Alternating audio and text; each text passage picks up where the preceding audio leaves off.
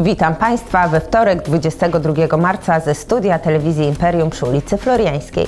W tym wydaniu wiadomości telewizji Imperium wyślij znajomemu pocztówkę z Gliwic o nowej serii kartek, które przypadną do gustu nie tylko turystom. Poza tym pożegnanie z papierowymi biletami już wkrótce, a na koniec pójdziemy na wagary. Agnieszka Chlewicka-Bac, zapraszam na serwis.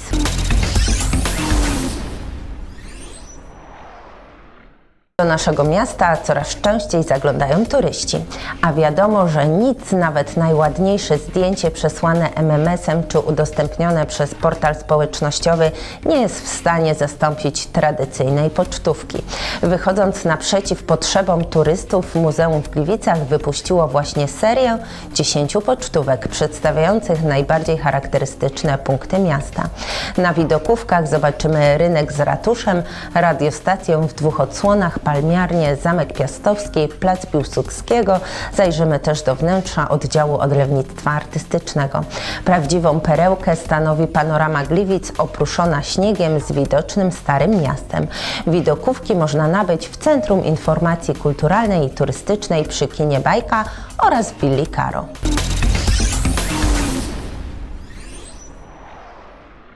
Podczas gdy jedna instytucja wraca do starych, sprawdzonych sposobów, inna postanawia od nich odejść. Kasetka GOP poinformował, że wraz z początkiem maja zniknie część tradycyjnych papierowych biletów. Zastąpi je Śląska Karta Usług Publicznych. Konkretnie chodzi o bilety 24 i 48 godzinne, 5, 7 i 14-dniowe, wakacyjne, miesięczne na okaziciela i kwartalne. W sprzedaży będą jeszcze papierowe bilety jednorazowe i imienne miesięczne. Te mają zostać wycofane w innym terminie.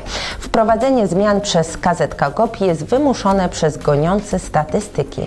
Unia Europejska, która dofinansowała projekt, założyła, że do końca 2016 roku z karty ŚKUB będzie korzystać 150 tysięcy osób. Natomiast do tej pory wydano ich nieco ponad 1 trzecią tej liczby.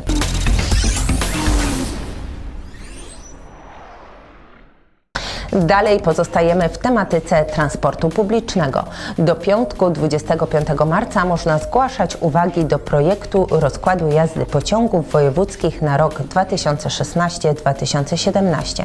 Zawiera on wykaz pociągów przewidywanych do uruchomienia od 11 grudnia 2016 roku po dokonaniu odpowiednich uzgodnień z przewoźnikami oraz województwami ościennymi w przypadku połączeń stykowych. Każdy może zgłaszać swoje uwagi i pomysły za pomocą formularza, który można pobrać ze strony bip.śląskie.pl. Wypełniony formularz należy przesłać pocztą elektroniczną na adres rozkład małpaśląskie.pl.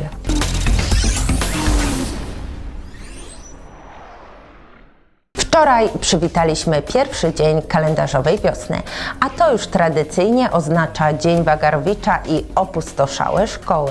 Zwykle, ale nie zawsze, wyjątek stanowią uczniowie samochodówki na Kilińskiego, którzy wczoraj z uśmiechem na twarzy pojawili się w szkole.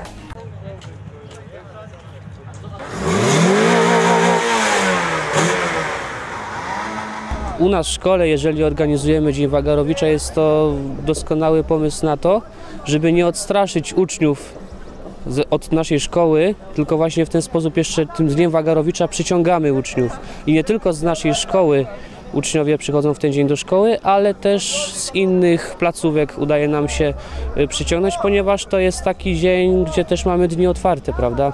Mają okazję zaprezentować siebie, swoje samochody, którymi się zajmują cały rok. Niektórzy gdzieś zdjęcia przesyłają nawet dwa dni wcześniej, co już zrobili, jak wyczyścili, jakie nagłośnienie jeszcze dołożyli. I też zarazem jest to dzień otwarty, żeby pokazać, że samochodówka to nie tylko nauka, ale także i zabawa. Na tym symulatorze dachowania tam takie, taki smart jest narożnie i możemy zobaczyć rzeczywiście, jak to człowieka może wyobracać podczas dachowania. Jest, przyjechał tutaj do nas pan, który pokazuje, jak y, możemy wyciągnąć y, wgniecioną karoserię w samochodzie. Y, Wcześniej przyjechał, przyjechały różne samochody cywilnych ludzi, którzy z pasji, z tego, że benzyna im w żyłach płynie, tak zrobili te samochody, że naprawdę było co podziwiać. Czyli też w tym Dniu Wagarowicza chodzi o to, żeby się też czegoś nauczyć od innych. Zgadza się, zgadza się, jest dużo do nauczenia. Chociażby na podstawie tego, że można dużo pytań zadać nie tylko nauczycielom, bo którzy prowadzą konkursy, mamy też konkursy różnego rodzaju, ale też od uczniów możemy dużo się nauczyć, którzy tą pasję, którą mają w samochodach, w jakiś sposób mogą przekazać informacje na temat przeróbek czy tam innych spraw związanych z tym ulepszaniem swojego samochodu.